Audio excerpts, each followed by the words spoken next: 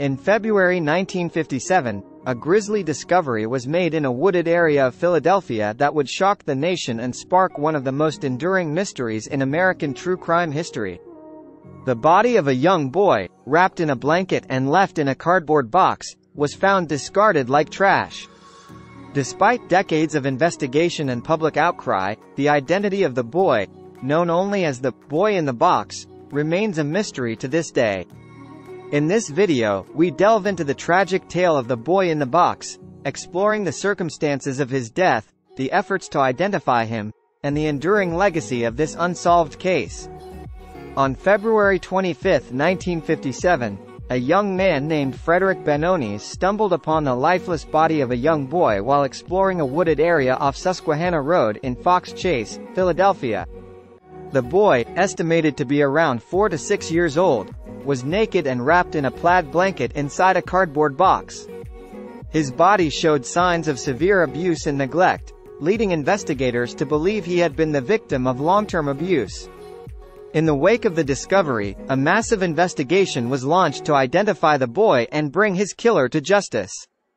Despite extensive media coverage and public appeals for information, no viable leads were ever uncovered. Over the years, numerous tips and potential sightings were reported, but none of them yielded any significant breakthroughs in the case. The mystery surrounding the boy in the box has led to a myriad of theories and speculation about his identity and the circumstances of his death. Some believe he may have been the victim of a botched illegal adoption or trafficking operation, while others speculate that he may have been the victim of familial abuse or neglect. However, without concrete evidence or witnesses coming forward, the truth remains elusive.